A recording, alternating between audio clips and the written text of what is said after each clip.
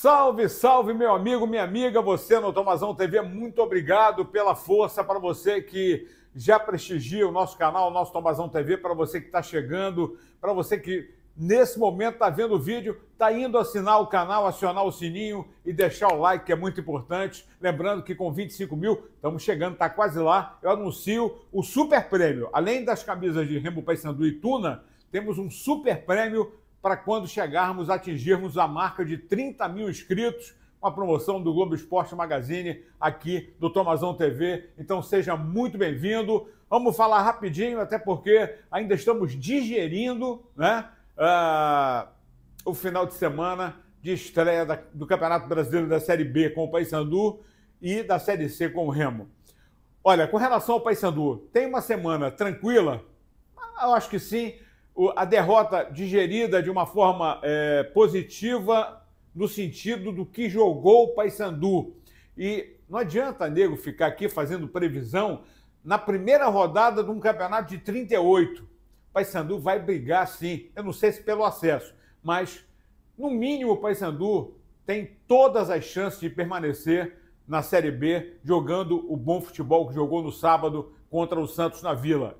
Ele perdeu para o Santos que é o candidato ao título, que é candidato a chegar em primeiro lugar e o acesso garantido para a Série A, que também não é assim. Vai ter que jogar, vai ter que brigar, correto? Agora, o Hélio dos Anjos foi muito feliz quando manteve a estrutura do time, quando não fez nada é, de alterações absurdas. Apenas o Quintana entrando na zaga, ele preferiu o jogador que ele indicou é, para substituir o Lucas Maia, que continua contundido, fazendo dupla com o Wanderson. E foi bem. O vacilo no final, até porque o Paysandu, olha, no total teve 58% de total de posse de bola contra 48% do Santos. Mas no segundo tempo, o Santos foi mais objetivo. Essa objetividade é que o Paysandu precisa cobrar, principalmente dos atacantes. Então, na hora de finalizar, na hora de concluir, é esse esse ponto final aí é que precisa ser trabalhado com mais cuidado, né? E quem tem o Nicolas tem gol sempre na área, mas a bola tem que chegar. Mas o Paysandu pode ainda tem o Pedro Romano, tem o Léo Pereira, o, o, tem o, o, Maia, né? O Carlos Maia, o Brandon, jogadores que foram contratados e ainda não foram utilizados, né? O, o Fraga que veio da Ponte Preta. Então o grupo, né? bem homogêneo aí para que o L possa trabalhar e possa subir mais de produção ainda, no sentido de conseguir bons resultados. O Paysandu só joga na segunda-feira, dia 29, daqui a oito dias, contra o Botafogo na Curuzu. Então, é, é, jogo duro? Jogo duro. Mas joga na Curuzu, jogando em casa, com apoio da torcida, com certeza, casa lotada, para faturar os três primeiros pontos. Vamos aguardar a semana.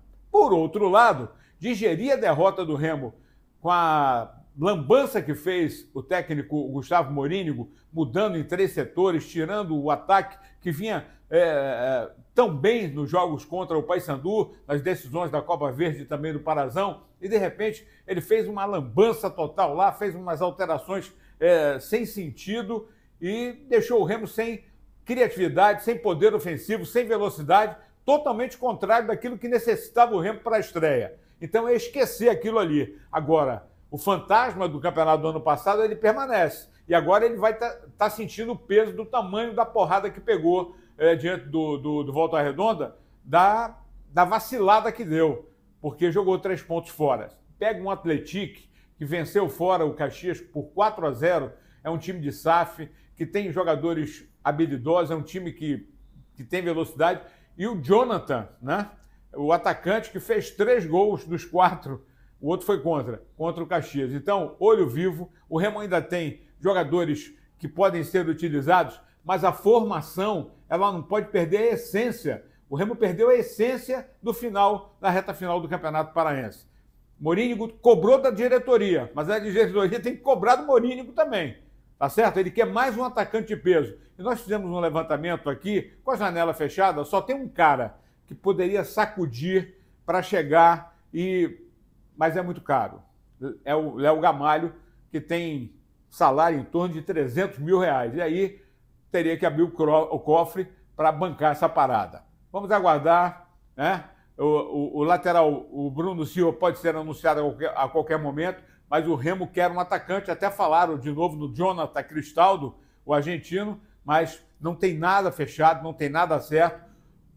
O certo é que virá um atacante para sacudir. E o Mourinho exige isso. E a diretoria vai ter que abrir o cofre e vai ter que bancar essa parada. Porque o Remo não pode mais desperdiçar pontos dentro de casa. E fora vai ter que buscar, começando no sábado, porque serão dois jogos fora a partir desse sábado contra o Atlético no Campeonato da Série C. Aguardemos, qualquer momento voltamos com mais informações para você aqui no Tomazão TV. Fica ligado.